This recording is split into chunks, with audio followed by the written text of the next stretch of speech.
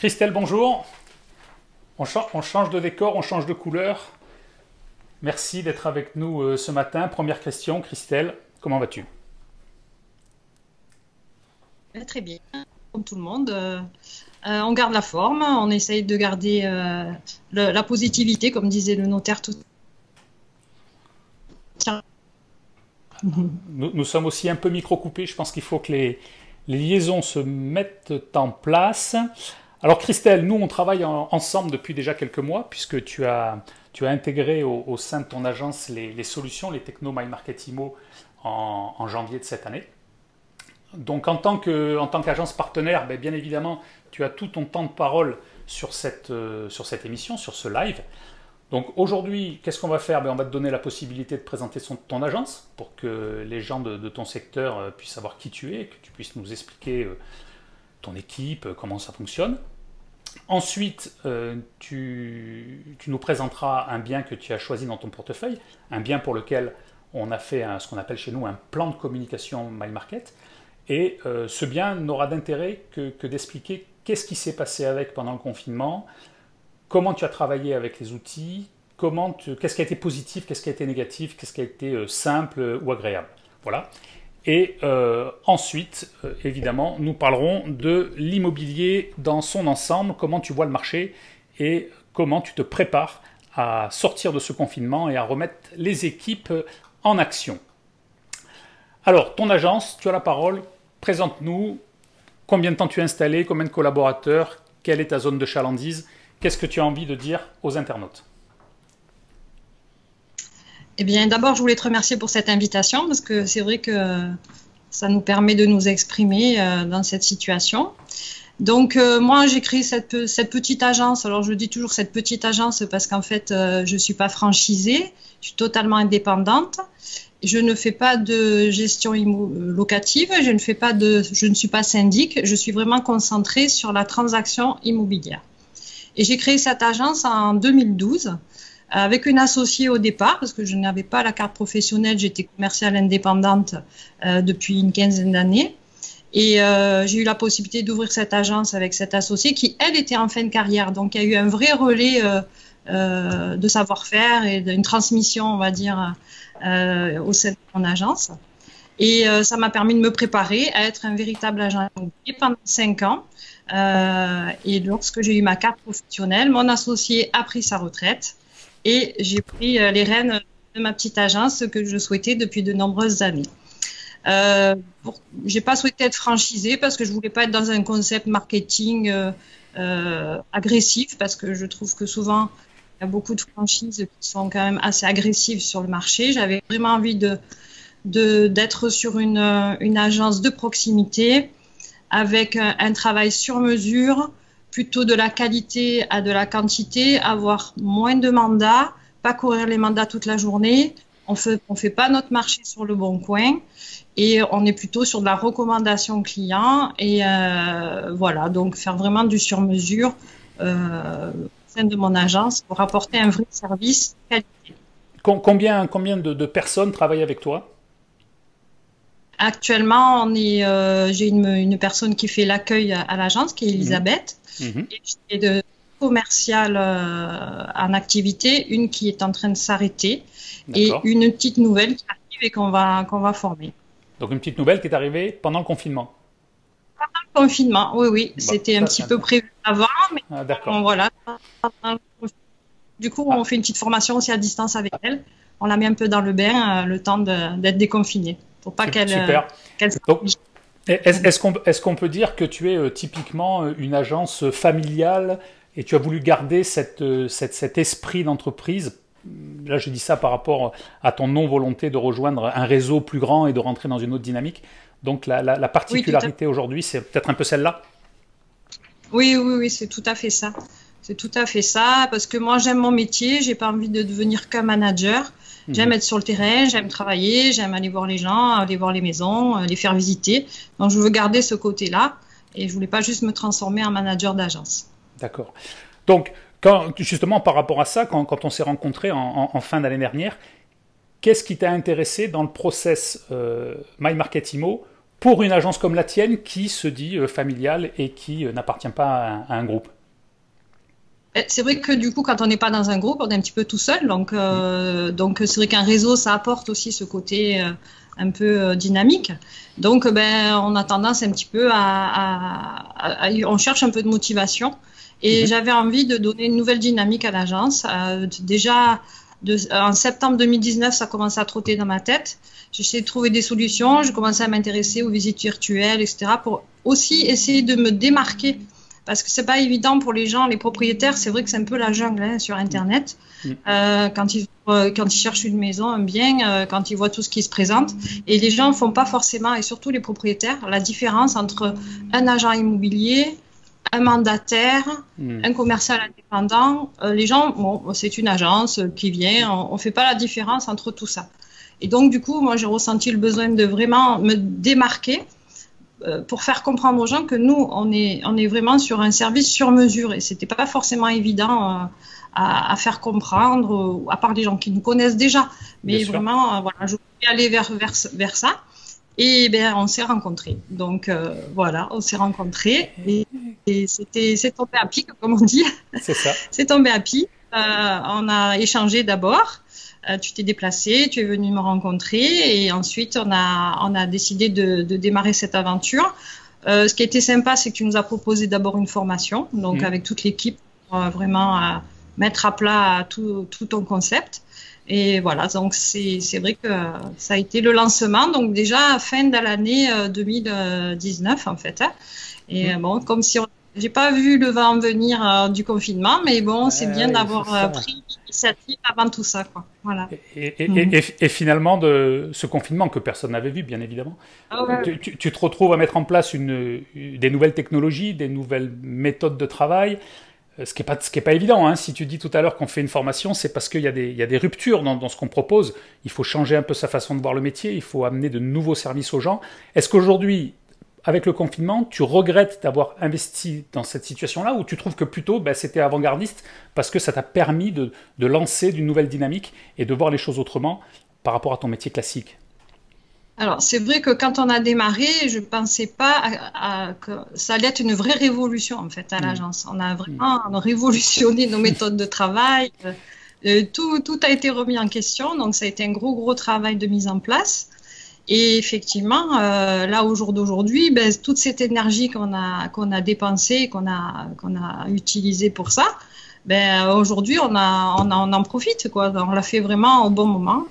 Et euh, non, je regrette absolument pas. Et je pense que c'est qu'un début. La, la, concrétude pour les gens qui nous, qui nous écoutent. Donc euh, évidemment, depuis le confinement, on ne peut pas faire des visites physiques avec les gens, on ne peut pas les emmener. Euh, qu'est-ce qui s'est passé sur, sur deux ou trois biens auxquels tu as pu envoyer le fameux plan de com euh, MyMarket eh ben, eh ben, Du coup, on a pu faire des visites, puisqu'on a fait des visites dématérialisées. Hmm. Donc les gens étaient surpris, on leur a envoyé un lien, on leur disait ben oui, vous pouvez visiter, on va vous envoyer un lien, vous allez visiter de chez vous dans votre salon. Hmm. Donc euh, la visite 3D vraiment est efficace pour ça parce que c'est vraiment réaliste, c'est pas juste une vidéo il y a une petite vidéo de présentation, mais c'est vrai que la visite 3D est une véritable visite. Quoi. Et, euh, sans dévoiler des secrets, mais on, peut dire qu'il y a quand même des options d'achat qui, se sont, qui se sont dessinées, qui étaient pour le coup totalement inattendues. Effectivement, ça a déclenché quand même des réservations, des gens même qui étaient à distance. Mmh. Bon, malheureusement, après, euh, la situation fait que des fois, bon, bah, il faut quand même attendre que ça se concrétise euh, mmh. parce qu'il bah, y a des changements aussi de, de projets. Ça, on, ça, on en parlera tout à l'heure. On y reviendra tout à l'heure sur, sur, l'aspect euh, macroéconomique. Mais, mais des visites virtuelles ont, déclenché des, des, réservations, on va dire des réservations, voir, voir, une offre d'achat. Voilà. Ça, c'était vraiment concret et on s'y attendait pas. Alors ce, matin, tu as, tu as choisi un bien euh, que tu voudrais présenter, d'abord parce que ce bien, ben, je crois qu'il fait partie des biens qui sont euh, quasiment en option de réservation, si je ne dis pas de bêtises. Donc il n'est pas vendu, il est toujours là, mais on peut encore en faire la promotion. Donc en, deux mots, on, va présenter le film du bien à, nos, à, nos, auditeurs, à nos spectateurs, à nos, je sais pas comment on dit, internautes. Il faut trouver les, nouveaux noms maintenant. Qu'est-ce que tu peux nous, est-ce que tu peux nous, nous, dire deux trois mots sur ce bien? Il se trouve où? C'est quoi? C'est une maison? C'est un appartement? C'est Comment ça se passe? Alors, c'est une petite maison euh, individuelle sur Fosse-sur-Mer. Euh, elle est très bien située, elle est à la sortie du village, elle est proche de toutes les commodités. C'est une petite maison idéale pour une famille avec deux enfants. Parfait. Voilà, et donc c'est vrai qu'ils ont joué au jeu. Je te propose qu'on monte la maison et qu'on en fasse le tour, et qu'ensuite qu'on débriefe qu'est-ce qui s'est passé, comment tu as pu travailler avec cette solution de, de plan de com, et, montrer comment maintenant tu travailles dans ton agence. On y va et on revient tout de suite.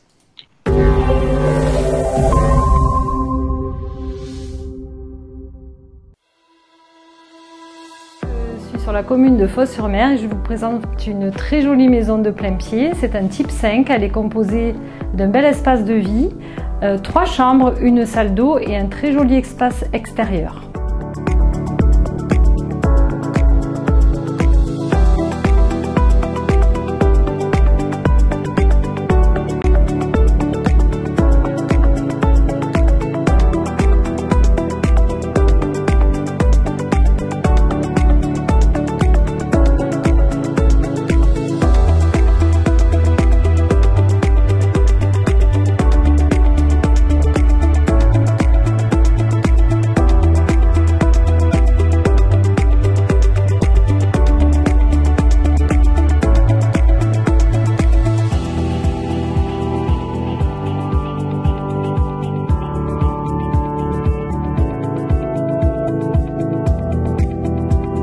Première chose que je me suis dite en rentrant dans cette maison, c'est il n'y a aucun travaux à prévoir.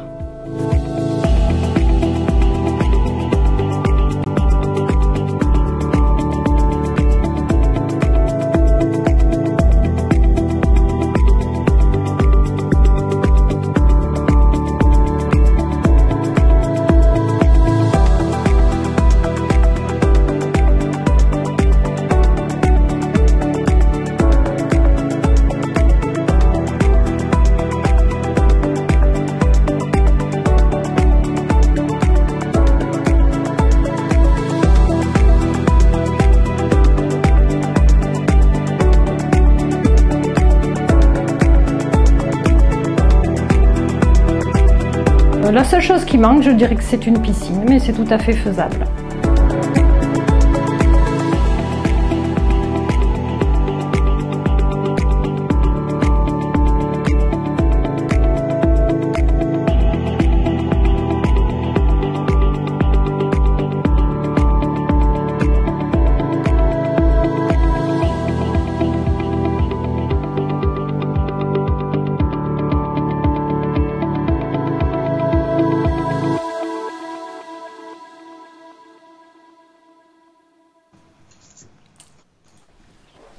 Voilà Christelle, on est, on est de retour, donc on a pu montrer ce, joli bien à, à Fos-sur-Mer.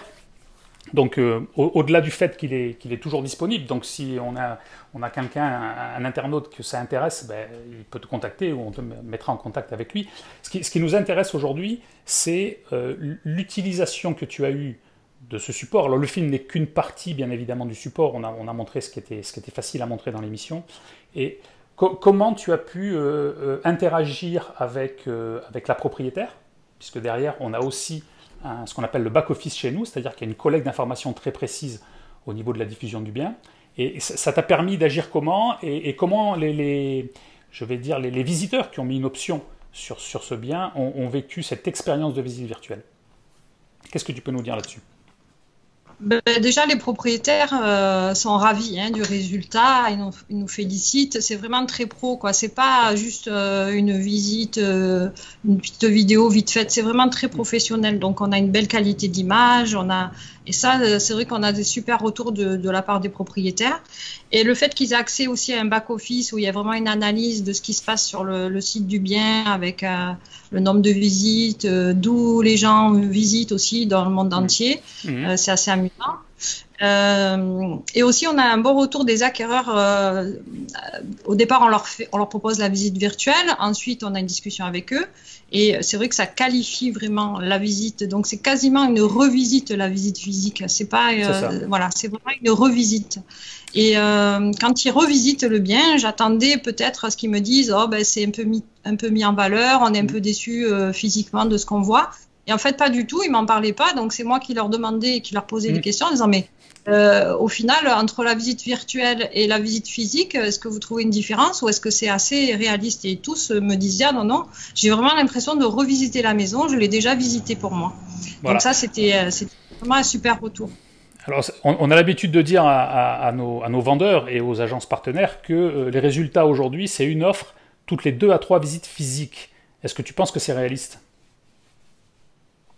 Ah oui, tout à fait, oui. hein puisque, Tout à fait. puisque les, les gens, quand ils sont en deuxième visite, ils viennent déjà avec, un, avec, avec un- une connaissance du bien qui est, qui est extrêmement pointue. Donc, euh, c'est vrai que depuis quatre ans qu'on fait le sujet, puis on s'est amélioré dans le temps, on a de plus en plus d'impacts euh, qui, sont, euh, qui sont de plus en plus précis. Voilà, donc c'est un gain de temps, c'est sûr. Pour, pour, pour poursuivre un petit peu cette, cette interview, euh, la reprise, tu, la vois comment? Tout à l'heure, on discutait avec, euh, Arnaud, qui nous, on disait, bon, euh, il va y avoir quand même des secousses. On ne dit pas qu'on n'est pas pessimiste, mais on vit une situation inédite, donc personne n'est capable de dire ce qui va se passer. Je regardais hier ou avant-hier sur Internet un sondage qui disait qu'à peu près 50% des agents immobiliers étaient optimistes et 50% étaient pessimistes. Mais là, je dis, je ne sais pas si ce sondage est bon, mais ce qui est bon au moins, c'est que personne ne sait, puisqu'on est pile poil à 50-50. Donc là, on ne prend pas de risque. Toi, Christelle, comment tu vois la chose? Comment tu... Est-ce que tu as déjà des signes de, de, de changement sur des, sur des réservations, sur des intentions d'achat? Ou au contraire, est-ce que tu as des accélérations de gens qui veulent vendre davantage ou qui retirent de la vente? Est Comment tu sens ton marché? Alors je- déjà, je vais me ranger du côté des optimistes. Bien. Euh, voilà, donc, euh, mais c'est vrai qu'on n'a pas de boule de cristal non plus et que, comme me disait le notaire tout à l'heure, Arnaud, euh, Monsieur Blanc, donc euh, on va être observateur. Et nous, c'est vrai que comme on est sur le terrain tous les jours, on pressent un petit peu les choses. Euh, de fait, voilà, du relationnel avec les vendeurs, les acquéreurs, on a, on a une vision plus globale. Et en pressentant les choses, on a un petit peu, une petite avance, je pense, sur le marché qui nous, qui va nous faire dire euh, euh, comment va être la tendance. Donc au jour d'aujourd'hui, je trouve, je pense que c'est un peu tôt. Euh, ce qu'on commence à observer, c'est que les acquéreurs commencent à nous poser la question mais qu'est-ce que vous pensez des prix? Est-ce qu'ils vont, euh, est-ce qu'ils vont euh, baisser? Donc ça, ça prévaut que bon, on peut-être ça, ça nous dit qu'on risque d'avoir des offres plus basses parce qu'ils vont se dire bon ben vu la situation, on va en profiter et on va faire des offres plus basses. Mm. Donc à nous après d'analyser si, c'est- si, si ces offres sont voilà re- recevables ou pas. ou et pas, oui. ça ça va dépendre aussi. C'est un peu ce qu'on a vécu en 2008, hein, euh, où, les, où pareil, on avait tendance à, à prendre des offres basses et, et les, pas tous les propriétaires étaient capables de les accepter, mais ceux qui étaient propriétaires depuis 40 ans, bon, ben, ils s'adaptaient au marché et puis s'ils ils avaient vraiment besoin de vendre, ils vendaient. Donc voilà, ça va être une adaptation au marché. Euh, et beaucoup d'observations là dans les mois à venir. Je pense qu'en septembre, on y verra un petit peu plus clair euh, au niveau de, des prix du marché, comment les banques aussi vont, vont se comporter. Moi, j'ai quelques infos au niveau de courtiers avec qui je travaille. Euh, bon, ils me disent que les taux frémissent, mais bon, on est de l'ordre d'une moyenne de 0,25 en augmentation de taux. Donc ça va, c'est pas non plus euh, catastrophique. Ça risque de se durcir un petit peu pour l'obtention des prêts euh, où on va peut-être avoir besoin d'un peu plus d'apport, au moins des frais de notaire par exemple, euh, ou des dossiers à 110% vont avoir plus de Ah, mal à ça, va. passer. Ça va être compliqué. Et, ouais. et voilà.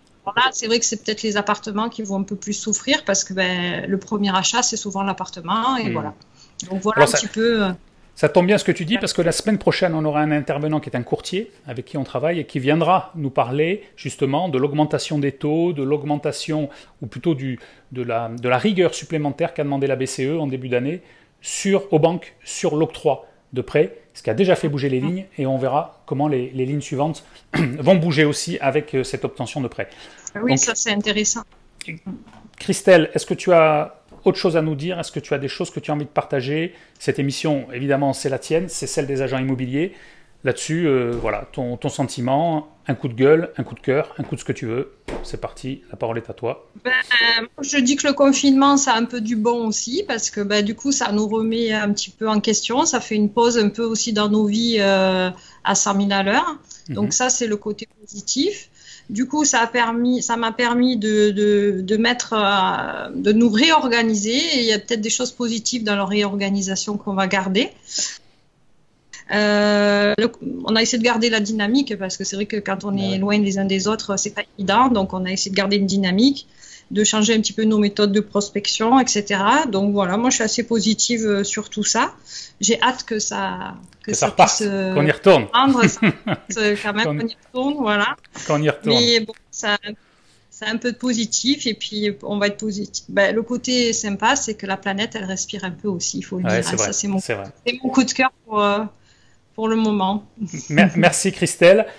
Donc on te retrouvera très prochainement dans, dans une nouvelle émission pour nous présenter d'autres biens. Pour aujourd'hui, je te remercie et je te dis euh, reste chez toi. À bientôt. Et oui, et vous aussi. Au revoir.